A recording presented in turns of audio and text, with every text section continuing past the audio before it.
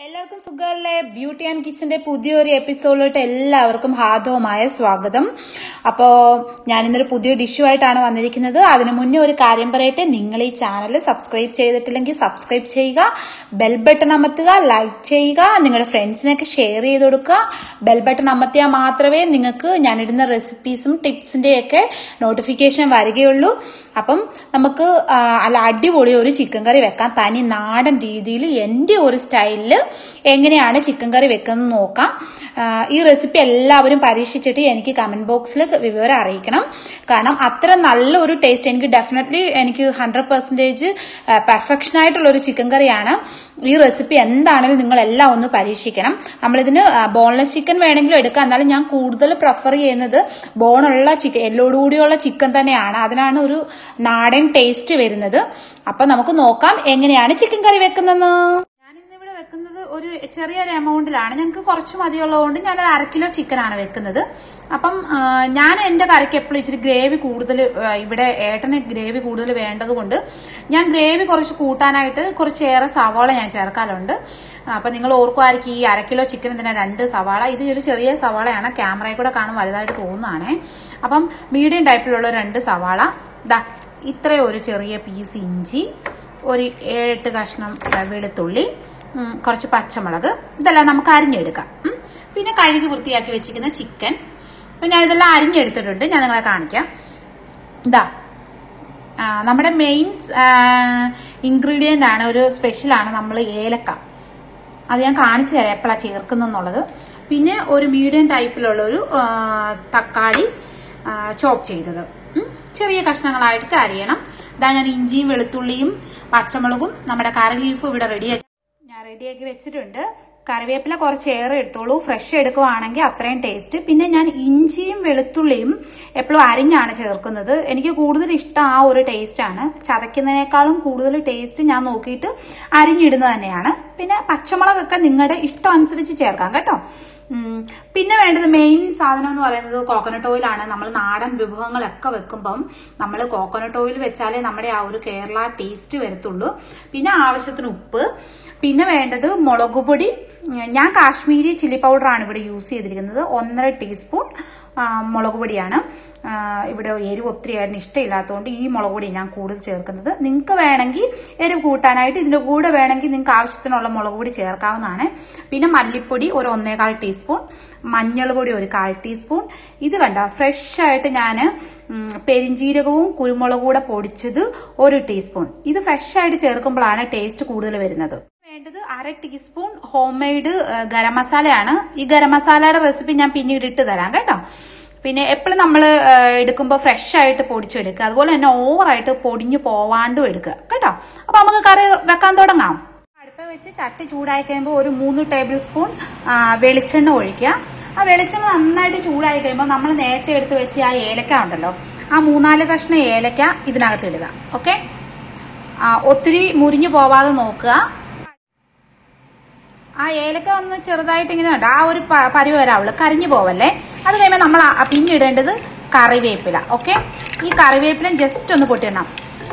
ആദ്യം നമ്മൾ കറിവേപ്പില ഇടുമ്പോൾ നമ്മുടെ ഈ എണ്ണയ്ക്ക് ഒരു പ്രത്യേക സ്മെല്ലൊക്കെ വരും കേട്ടല്ലോ? അപ്പോൾ കറിക്ക് ഒരു പ്രത്യേക ടേസ്റ്റാണ് നിങ്ങൾ ഈ ഞാൻ പറയുന്ന മെതേഡ് തന്നെ വെക്കുവാണേലേ ആ എന്റെതായിട്ടുള്ളൊരു ടേസ്റ്റ് കിട്ടത്തുള്ളൂ. പിന്നെ ഇടേണ്ടത് നമ്മുടെ ഇഞ്ചിയില്ലേ? ഇഞ്ചി ഇട്ട് കൊടുക്കുക. കണ്ടോ? നമ്മൾ ആ ഇട്ട് കൊടുത്ത ഇഞ്ചി.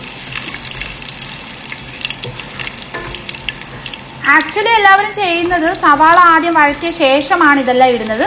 പക്ഷേ ഈ നാടൻ കറിയൊക്കെ വെക്കുമ്പം ഒരിക്കലും എന്താ പറയുക ഞാൻ പ്രിഫർ ചെയ്യുന്നത് ഞാൻ വെക്കുന്ന ഒരു സ്റ്റൈൽ എന്ന് പറഞ്ഞു കഴിഞ്ഞാൽ ഇങ്ങനെയാണ്. ആദ്യം കറിവേപ്പില ഇട്ട ശേഷമാണ് ഇഞ്ചി ഇടും. അത് കഴിഞ്ഞിട്ട് വെളുത്തുള്ളിയും പച്ചമുളകും ഇട്ട് കൊടുക്കും. ഇതൊന്ന് ഫ്രൈ ആവണ്ട. ഒരു ചെറിയ രീതിയിൽ കളർ മാറുമ്പോൾ നമുക്ക് സവാള ഇട്ട് കൊടുക്കാം. ഓക്കെ റെഡി ആയി കഴിയുമ്പോൾ നമ്മുടെ സവാള ഇട്ട് കൊടുക്കാം. ആദ്യമേ തന്നെ ഒരുപാട് തീയിൽ വെച്ച് കരിച്ച് കളയരുത്. ഒരു മീഡിയം തീയിൽ എന്ത് കുക്ക് ചെയ്യുമ്പോഴും സ്ലോ കുക്കിനാണ് ടേസ്റ്റ് കൂടുതൽ. അതറിയാമല്ലോ അല്ലേ?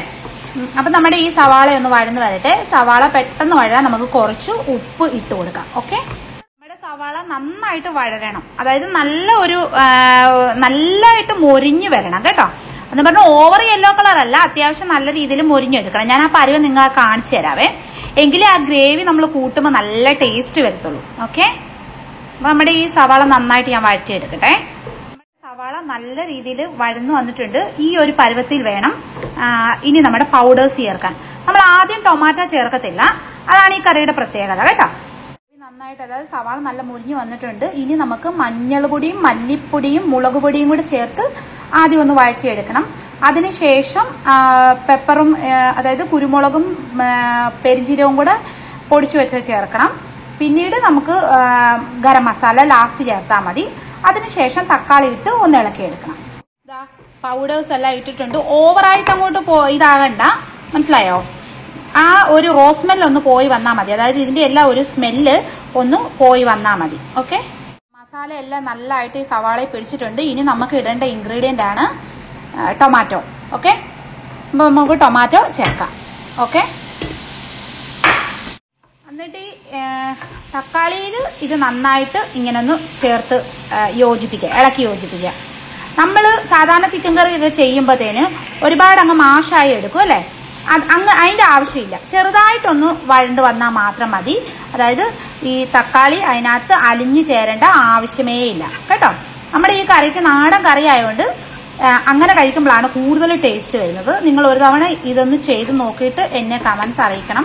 കേട്ടല്ലോ? കറി വേകുന്ന കൂട്ടത്തിൽ ഈ ടൊമാറ്റോയും നന്നായിട്ട് വേകുന്നതായിരിക്കും. കേട്ടല്ലോ? ഒരു നല്ലൊരു ടേസ്റ്റാണ് ഇത് ഞാൻ എന്റെ അമ്മയുടെ അടുത്തുനിന്ന് പഠിച്ചൊരു ട്രിക്കാണേ അമ്മ വെക്കുമ്പോൾ ചിക്കൻ കറിക്ക് വേറൊരു ഡിഫറെന്റ് ടേസ്റ്റ് ആണേ. അപ്പോൾ അങ്ങനെ അന്വേഷിച്ച് അമ്മയോട് ചോദിച്ചപ്പോഴത്തേനും അമ്മ പറഞ്ഞു തന്നാണ് ഞാൻ ഈ തക്കാളി ചേർക്കുമ്പം അതിങ്ങനെ അലിയിച്ച് കളയാതെ ജസ്റ്റ് ഒന്ന് ഇതാ ഈ ഒരു പരുവത്തിൽ ആകാവുള്ളൂ. ഓക്കെ അപ്പം ഞാൻ നമുക്കിനി ചിക്കൻ ചേർക്കാമേ. അപ്പോൾ നമുക്ക് ചിക്കൻ ചേർത്തിട്ടുണ്ട്.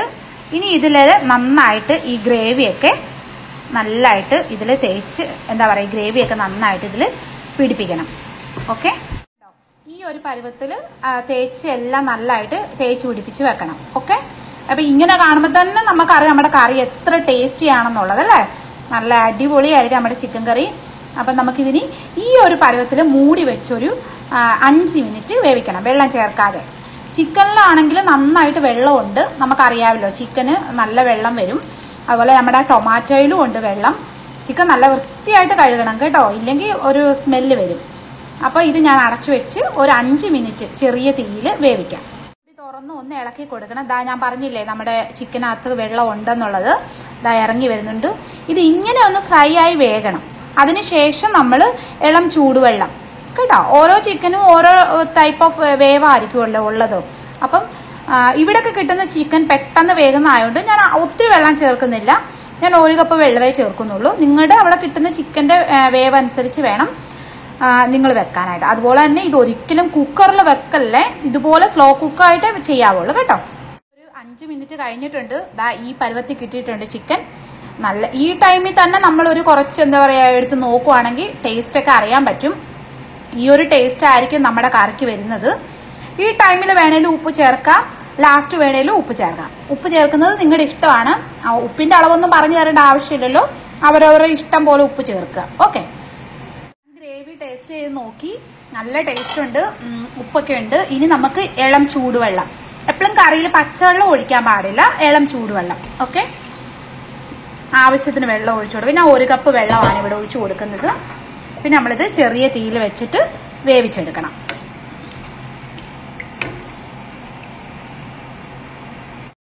വെച്ച് വേവിക്കുകയാണ്. ഒരു പതിനഞ്ച് ഇരുപത് മിനിറ്റ് മതിയാവും ഈ കറി റെഡിയാക്കാൻ ഓൾറെഡി അഞ്ച് മിനിറ്റ് നമ്മൾ വേവിച്ചിട്ടുണ്ട്. ഇനി ഒരു പത്ത് പതിനഞ്ച് മിനിറ്റ് മാക്സിമം ഇരുപത് മിനിറ്റ് മതി. അതിനിടയ്ക്ക് കറി ഒന്ന് തുറന്ന് നോക്കി ഇളക്കി കൊടുക്കണം ഓക്കെ ചിക്കൻ കറി ഇതാ നല്ലതായിട്ട് വെന്ത് വന്നിട്ടുണ്ട്. എണ്ണയൊക്കെ തെളിഞ്ഞ് കഷ്ണമൊക്കെ നന്നായിട്ട് വെന്തിട്ടുണ്ട്. ദാ ഒരു പരുവാകുമ്പോൾ നമുക്കിത് നിർത്താം. ഇനി ഇതിന് മുകളിൽ കുറച്ച് പച്ച കറിവേപ്പില തൂവി അടച്ചു വെക്കണം. മിനിമം ഒരു പതിനഞ്ച് ഇരുപത് മിനിറ്റ് ശേഷമേ ഇത് സെർവ് ചെയ്യാവുള്ളൂ. എങ്കിലേ ആ ഒരു ടേസ്റ്റ് നമുക്ക് കറക്റ്റായിട്ട് കിട്ടത്തുള്ളൂ. റെഡി ആയിട്ടുണ്ട് ഞാനൊരു സെർവിങ് പ്ലേറ്റിലോട്ട് അത് മാറ്റിയിട്ടുണ്ട്. നമുക്ക് നോക്കാം എങ്ങനെയാണെന്ന് കാണുമ്പോഴേ അറിയാം നല്ല ടേസ്റ്റി ആണെന്നുള്ളത് നല്ല നാടൻ വെളിച്ചെണ്ണയൊക്കെ ചേർത്ത് നല്ല അടിപൊളി ടേസ്റ്റിലുള്ള ചിക്കൻ കറി അപ്പം എല്ലാവരും ഇത് പരീക്ഷിച്ച് നോക്കണം. അപ്പൊ എല്ലാവരും വീഡിയോ കണ്ടെന്ന് ഞാൻ വിശ്വസിക്കുന്നു. ഈ ഇതേ മെത്തേഡിൽ ഇത് വെച്ച് വെച്ച് നോക്കിയിട്ട് എനിക്ക് കമന്റ് ബോക്സിൽ നിങ്ങൾ റിസൾട്ട് പറയണം എങ്ങനെ ഉണ്ടെന്നുള്ളത് അപ്പോൾ അടുത്തൊരു റെസിപ്പിയായി വരുന്നിടം വരെ എല്ലാവർക്കും നല്ലൊരു ദിവസം ആശംസിക്കുന്നു. C you next time